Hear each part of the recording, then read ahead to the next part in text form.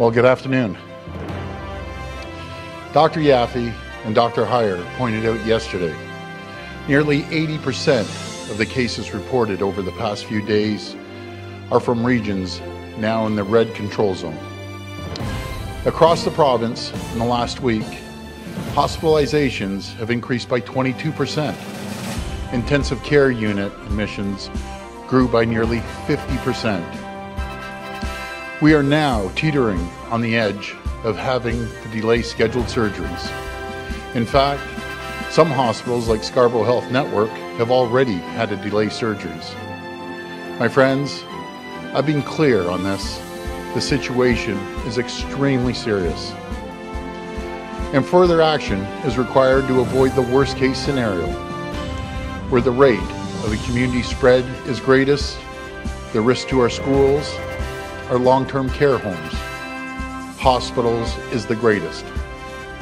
We cannot put in-class learning at risk. We can't risk widespread outbreaks in our long-term care homes. We cannot risk overwhelming our hospitals. To protect our most vulnerable, to protect what matters most, we have to get the community spread under control. Since September, following the advice of our health experts, we've taken incremental steps. We've taken decisive action to slow the spread by introducing public health restrictions, increasing testing and contact tracing and enforcement. At the same time, we've invested billions of dollars to increase capacity in our healthcare system. These steps, they've helped thanks to our collective efforts. We've saved lives, but this virus, it spreads like wildfire. And in certain parts of the province, it's spreading at an alarming rate in the community. Last week, our modeling showed that if nothing was done, we could face 6,000 new daily cases in the coming weeks, overwhelming our ICUs shortly after that. More deaths, more losses, but we can avoid this if we take further action now. So after extensive consultation with the Chief Medical Officer of Health and the Public Health Measures Table. Effective Monday, November 23rd at 12.01 a.m., Toronto and Peel will be moved into lockdown. Minister Elliott will walk you through the details in a moment. My friends, I know these past few months have been extremely difficult.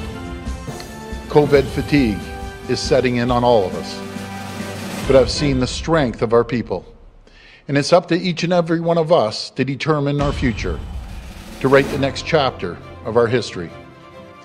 And we all have a part to play. We must all rally around our businesses and our neighbors right now. We must support them. Our government will be there to do our part. We will spare no expense to support these businesses. Today, we're doubling our supports for business impacted by these measures. I've directed that up to $600 million in relief be made available immediately to help these businesses with fixed costs, including help with their hydro bills and property taxes. We will be there for these folks. Businesses can apply today for this relief and for PPE grant at ontario.ca slash COVID support. And together, as a province, we can all make a difference please shop local. If you're shopping online, I know it can be easy just to go with Amazon. But please remember that you can buy the exact same product from a local store. Please buy from local stores. Please do your holiday shopping through curbside pickup or online stores. Support our restaurants and order takeout. And to be clear, grocery stores, pharmacies, big box stores will remain open safely with capacity limits to make sure you can access all the goods you need. So please, folks, avoid panic buying right now. I'm going to repeat that. Please avoid panic buying right now. There's no need to buy more than you need for a week or two. By avoiding the panic buying, we can make sure that supply chains are not impacted and there's enough for everyone. I know this is difficult news today. It's not where we want to be, but my friends, I have faith. Ontario will weather through this storm together. Please look out for each other. Please stick together. Because in this darkest hour, we see what we're made of. We see what we can endure. And we will endure, we will persevere, and we will get through this. Thank you, and God bless the people of Ontario. Now I'll pass it over to Minister Elliott.